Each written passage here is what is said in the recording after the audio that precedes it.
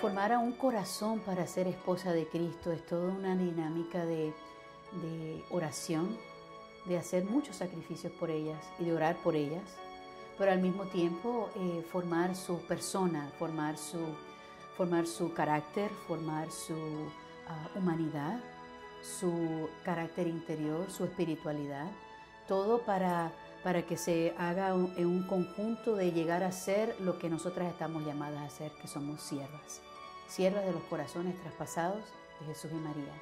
Todo de acuerdo a la visión que nuestra madre fundadora, la madre Adela Galindo, eh, recibió. Entonces, todo para tratar de, comunicar la Virgen. ¿Cómo hablaría Nuestra Señora? ¿Cómo se relacionaría Nuestra Señora? ¿Cómo serviría Nuestra Señora?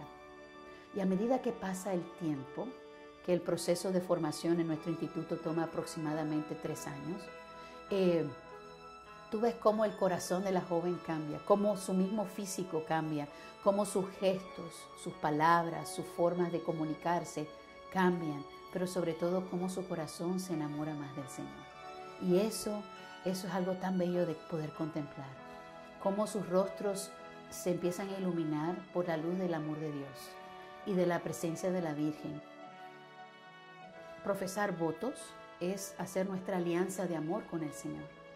Así como un matrimonio el día de su boda y se intercambian los votos matrimoniales, nosotras el día de nuestra profesión de votos intercambiamos nuestros votos con el Señor y le prometemos pobreza, castidad, obediencia y en nuestro instituto total disponibilidad mariana para tener una relación íntima con Jesús, nuestro esposo, porque Él es nuestro esposo.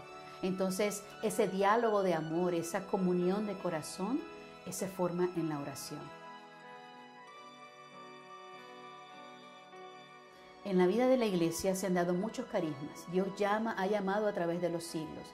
Tenemos los franciscanos, los jesuitas, tenemos los dominicos y dominicas. Somos las siervas de los corazones traspasados de Jesús y María. El Señor da carismas a fundadores y fundadoras para responder a una realidad o una necesidad en la vida de la iglesia. Entonces los carismas yo los comparo a como a diferentes flores en el jardín de la iglesia.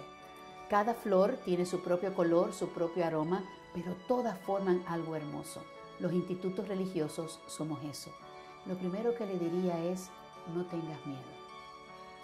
Que estás sintiendo una inquietud, que siente que Dios quiere algo más, lo primero que le digo, no tengas miedo de seguir el camino que Dios te, te está presentando.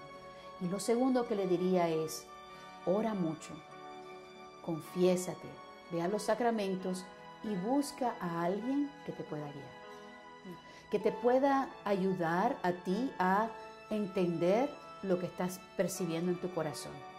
También a, lee mucho sobre lo que la vida religiosa es.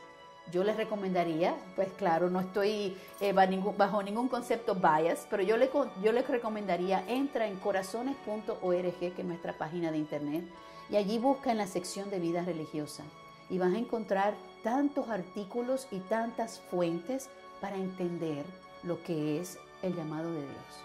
Y una vez lo entiendas, y si eso es lo que Dios quiere, lánzate con todo el corazón, porque nunca te vas a arrepentir de tu decisión. Eso es lo que yo le diría.